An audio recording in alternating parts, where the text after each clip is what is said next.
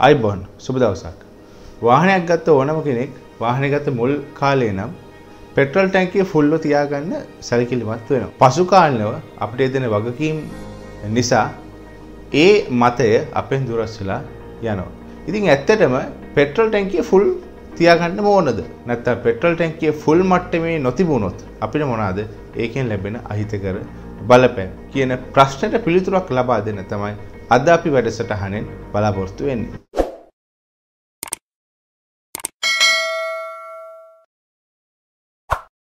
Motor තාක්ෂණය දිනෙන් දින දියුණු වෙලා 1980 දශකයෙන් මැත භාගයට එනකොට ගොඩක් පෙට්‍රල් වාහන ඉලෙක්ට්‍රොනික ෆුවල් ඉන්ජෙක්ෂන් තාක්ෂණය සමග නිර්මාණය වෙනවා. ඉලෙක්ට්‍රොනික් ෆුවල් ඉන්ජෙක්ෂන් සිස්ටම් වලත් විවිධ ආකාරයෙන් ප්‍රභේද තියෙනවා. Multi point injection system, single point injection system, direct injection system නැත්නම් අපි ගොඩක් දෙනා හඳුන්වන GDI කියන තාක්ෂණය ආදී විවිධ ලෙස මේ EFI ටෙක්නොලොජිගෙත් අවශ්‍යතා මත නිර්මාණය වෙච්ච තාක්ෂණික ක්‍රමවේදයන් දකින්න පුළුවන්. ඉතින් ගොඩක් වාහනවල භාවිතා වෙන්නේ අර MPI කියන ක්‍රමවේදය සිංගල් පොයින්ට් ඉන්ජෙක්ෂන් කියන ක්‍රමවේදය මේ වෙනකොට භාවිතයෙන් ඉවත් වෙලා තිබුණත් මල්ටි පොයින්ට් ඉන්ජෙක්ෂන් කියන ක්‍රමවේදය මේ වෙනකොටත් මෝටර් රථවල ඉතා සාර්ථකව භාවිතා වෙනවා. නමුත් අපි දැකලා තියෙනවා ඉන්ධන කාර්යක්ෂමතාවය ඉහළ දැමීමටත් අවම පරිසර දූෂණ තත්ත්වයක් ඇති කර ගැනීම සඳහා නිර්මාණය වන බොහෝ හයිබ්‍රිඩ් මෝටර් රථ මාදිලිවල අර ඩිරෙක්ට් ඉන්ජෙක්ෂන් තාක්ෂණය සහිත එන්ජින් භාවිතා වෙනවා. ඉතින් මෝටර් රථ නිෂ්පාදකයා සෑම විටම උත්සාහ කරන්නේ පෙට්‍රල් එන්ජිමකින් උපරිම ඉන්ධන කාර්යක්ෂමතාවයක් පාරිභෝගිකයට ඇති කරන්න. ඉතින් ඒ පාරිභෝගයට ඇති කරන ඉන්ධන කාර්යක්ෂමතාවයට සාපේක්ෂව විමෝච පාලනයත් මනා ලෙස ඉටුවන බැවින් පරිසරයටත් යම් සේවාවක් ඇති වෙනවා. ඉතින් මෝටර් රථ නිෂ්පාදකයා විවිධ තාක්ෂණයෙන් යුත් මෝටර් රථ නිර්මාණය කරත් ඒ මෝටර් රථ ධාවනයේදී ඒවට ඉන්ධන සැපීම සිදු කරන්න වෙන්නේ ඔබටම තමයි. ඉතින් මේක නිසා ඉන්ධන ටැංකියේ කොපමණ ඉන්ධන ප්‍රමාණයක් අවම මට්ටමේ පවත්වා ගත යුතුද යන්න පිළිබඳ අවබෝධයක් ලබා ගැනීම ඉතාම වැදගත්. EFI පද්ධතියක් ක්‍රියාත්මක වෙන්නේ නියත ඉන්ධන පීඩනයක් ඇසුරෙන්. ඒක නිසා සෑම EFI පද්ධතියකම විදුලි ඉන්ධන පොම්පයක් අන්තර්ගත වෙනවා ඒ විදුම් පද්ධතියට අදාළ. මේ විදුලි පොම්පය පැරණි EFI රථවල ඉන්ධන ටැංකියෙන් පිටත සවි වුණත් නවීන මෝටර් රථවල ඉන්ධන ටැංකිය තුල තමයි සවි වෙන්නේ. ඉන්ධන ටැංකියෙන් පිටත සවි වන පොම්ප එක්ස්ටර්නල් පම්ප් ලෙස හඳුන්වනවා. ඉන්ධන ටැංකිය තුල සවි වෙන පොම්ප ඉන් ටැංක් පම්ප් නැත්නම් සබ්මර්ජ් ටයිප් පම්ප් ලෙස මේදී හඳුන්වනවා. ඉතින් ගොඩක් වෙලාවට මේ පිටත ඉන්ධන පොම්පේ සවිවීම මුල් කාලේ දකින්නට ලැබුණත් අපද්‍රව්‍ය තැන්පත් වීම අනාරක්ෂිත බව ක්‍රියාත්මක වීමේදී ඇතිවන ශබ්දය වැනි කරුණු කාරණා මත ඉන්ධන පොම්පය ඉන්ධන ටැංකිය තුළට සවි කිරීමට නිෂ්පාදකයා මෑත කාලේ පෙළඹෙන. ටැංකිය තුළට ඉන්ධන පොම්පය ගෙනීමේදී අපද්‍රව්‍ය නොරැඳීම් පොම්පේ ආරක්ෂාව සහ ක්‍රියාත්මක වීමේදී ඇතිවන ශබ්දය අඩුවීම යන ගුණාංග වර්ධනය වෙනවා. ඉතින් විදුලි ඉන්ධන පොම්පයක් රථය ධාවනය ආරම්භයේ සිට ධාවනය අවසන් වන අවස්ථාව දක්වා ක්‍රියාත්මක වෙන නිසා ඒ ක්‍රියාත්මක වන විද්‍යුත් ශක්තියට හේතුවෙන් ඒ පොම්පේ යම් ප්‍රමාණයකට රත් වෙනවා. ඉතින් එන විදුලි පොම්පයට රත් වීම පාලනය කිරීම සඳහා සිසිලන ක්‍රමවේදයක් අවශ්‍යයි. ටැංකියෙන් පිටත පොම්පේ සවි වෙනකොට පොම්පේ සිසිල් වෙන්නේ අවට වායු ගෝලිය වාතයේ. ටැංකිය තුළට ගැනීමේදී මේ තත්ත්වය වඩාත් වර්ධනය වෙනවා. මොකද එහිදී ඉන්ධන මගින් පොම්පය සිසිල් වෙනවා. ඉතින් මේක ඉන්ධන පොම්පේ ආයු කාලය වැඩි කර ගැනීමටත් එක හේතුවක්. ටැංකිය තුළ ඉන්ධන පොම්පේ සවි වුණත් ටැංකිය සම්පූර්ණයෙන්ම හිස් වුණත් පොම්පේ ඇතුළත පෙට්‍රල් රැඳීම සිදුවන නිසා ෆයර් ට්‍රයැන්ගල් එකේ නැත්නම් දහන ක්‍රමවේද අනුකූලව දහන පෝෂකය වෙන ඔක්සිජන් නොලැබී යාම නිසා කිසිසේත් ඉන්ධන පොම්පේ ගිනි ගැනීමක් අවදානමක් මේදී ඇති වෙන්නේ නැහැ. ඉතින් මේ විශේෂ නිර්මාණය නිසා දෝෂ තත්වයකදී ඉන්ධන පොම්පය අපිට අලුතින් පද්ධතියට යෙදීමට සිදු වෙනවා.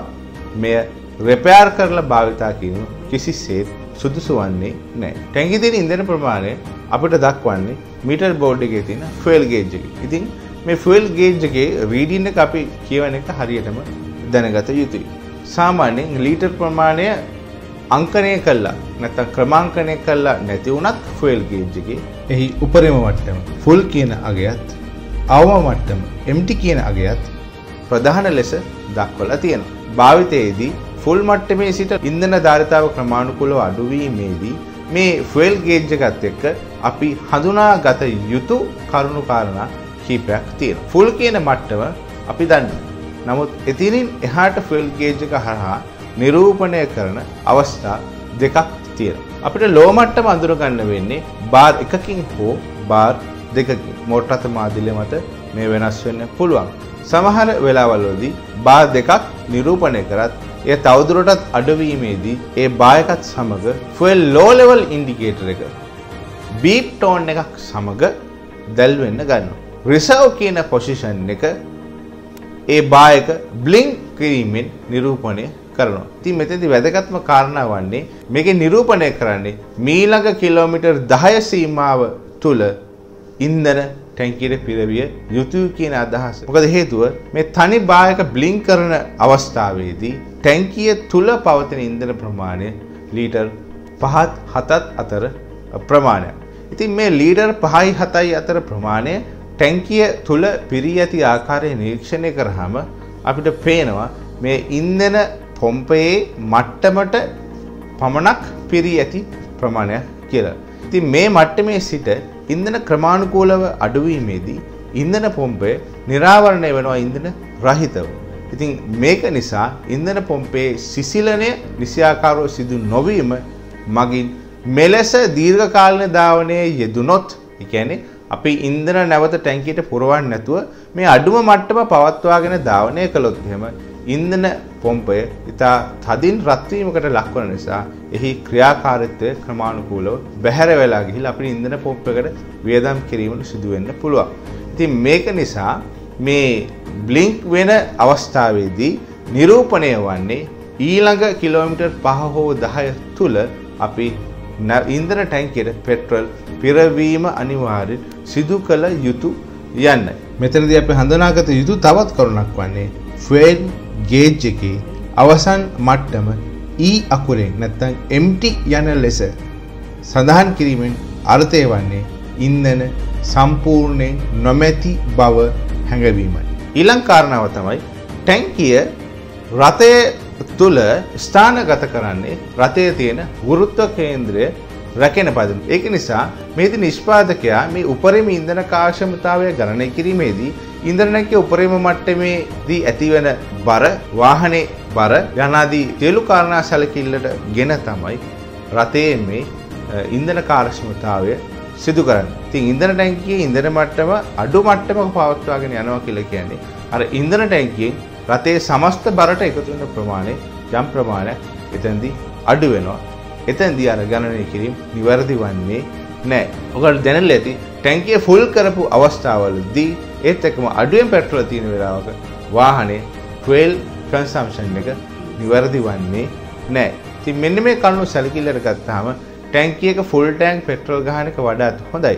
නමුත් අවම වශයෙන් ලීටර් 25ක ධාරිතාවක්වත් ඉන්ධන ටැංකියක අවම ලෙස පවත්වා ගැනීම ඉතාම වැදගත්. ඉතින් වඩාත්ම සුදු ක්‍රමය වන්නේ පෙට්‍රෝල් ටැංකේ ෆුල් ටැංක් කරලා ධාවනයට අනුකූලව ඒ ධාවන දුරට සාපේක්ෂව අඩුවන පෙට්‍රෝල් ප්‍රමාණය ෆිල් කරන්න පුළුවන් නම් ඒ වඩාත්ම සුදුසු ක්‍රමය එසේ නොහැකි නම් අවම වශයෙන් ලිටර් 25ක ධාරිතාවක්වත් ටැංකිය නඩත්තු කිරීම ඉතාම වැදගත් අත්‍යවශ්‍යතාවයක්. මොකද ඉන්ධන පොම්පේ ආරක්ෂාවට ඉන්ධන පද්ධතියේ සක්‍රිය ක්‍රියාකාරීත්වය සහ රථයේ ගුරුත්ව කේන්ද්‍රයේ ආශ්‍රිතව බර කළමනාකරණය කර ගැනීම සඳහා අවම වශයෙන් ලීටර් 25කට වැඩි ඉන්ධන ධාරිතාවක් පවත්වා ගැනීම ඉතාම අවශ්‍යතාවයක් වාහනේ දීර්ඝකාලීන ක්‍රමානුකූල පැවැත්ම සඳහා. ඉතින් මෙන්න මේ කරුණු ගැන සැලකිලිමත් වෙන්න ඔබේ වාහනය භාවිතයේදී අපි මේ වගේ තවත් වීඩියෝකින් ඊළඟ දවසේ හම්බෙමු.